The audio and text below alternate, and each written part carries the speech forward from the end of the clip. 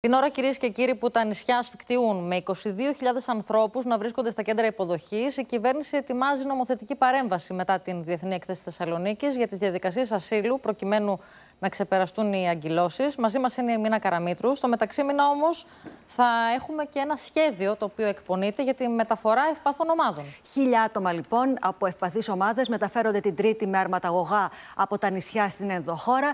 Να πω, Στέλλα, ότι η Ελλάδα σέβεται την uh, Συμφωνία Ευρωπαϊκής Ένωσης με Τουρκία. Γνωρίζει ότι δεν μπορεί να μεταφέρει άτομα από τα νησιά στην ενδοχώρα παρά μόνο αν πρόκειται για ευάλωτες ομάδες. Και επαναλαμβάνω ότι αυτά τα χίλια άτομα είναι ευάλωτες ομάδες. Παρ' όλα αυτά, μιλάμε για μια σταγόνα στον ωκεανό. Είναι γεγονός ότι αιτήματα ασύλου και επαναπροωθήσεις έχουν ευαλτώσει. Και ναι, μεν λένε οι υπεύθυνοι ότι τα αιτήματα ασύλου συμβαίνει αυτό διότι δεν υπάρχει αρκετός κόσμος για να τα προωθήσει. Όμως, εδώ φαίνεται να έχουμε και ένα μεγάλο πρόβλημα με τις επαναπροωθήσεις. Και αυτό γιατί είτε καθυστερούν είτε αναστέλλονται. Γι' αυτό και το επόμενο διάστημα θα έχουμε νομοθετικές ρυθμίσεις που ενδεχομένως να μπορέσουν λίγο να ρυθμίσουν αυτό το θέμα.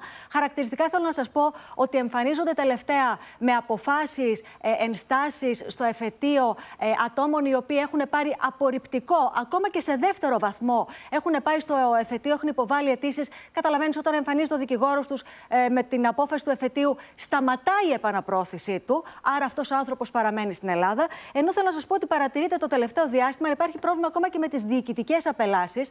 Χαρακτηριστικά θα σας πω μία περίπτωση που μου έλεγαν ε, υπεύθυνοι. Την προηγούμενη εβδομάδα είχε αναβλωθεί ένα αεροπλάνο για να μεταφέρει περίπου 30 Πακιστανούς ε, στο Πακιστάν, οι οποίοι ήταν εδώ, κρατούνταν με διοικητική απέλαση. Μάλιστα, στήχησε πάνω από 170.000 ευρώ αυτή η πολύ μεγάλο χρηματικό ποσό. Ακριβώς. Λίγο πριν ανέβουν λοιπόν στο αεροπλάνο, οι 15 από αυτούς, ενώ ήταν ήδη στα κρατητήρια και θα μπορούσαν να είχαν υποβάλει πριν από τρεις μήνες τα αιτήματα ασύλου και άρα να έχουν εξεταστεί, πριν ανέβουν λοιπόν στο αεροπλάνο, υπέβαλαν έτοιμα ασύλου, άρα το αεροπλάνο έφυγε με μόλις 15 άτομα για να πάει στο Πακιστάν.